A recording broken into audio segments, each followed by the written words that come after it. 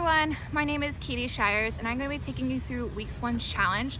So this week's focus is going to be on cardio. So our challenge this week is going to be one minute of burpees. We're going to encourage you guys to do this three times this week.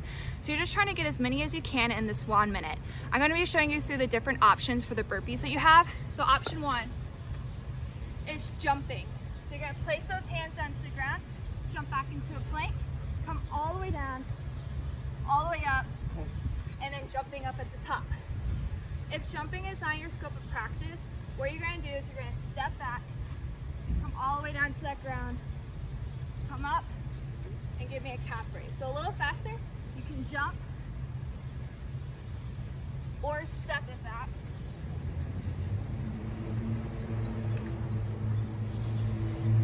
And that is gonna be your week one challenge. So once again, one minute burpees, just trying to get as many as you can. And we're gonna encourage you guys to do this three times this week.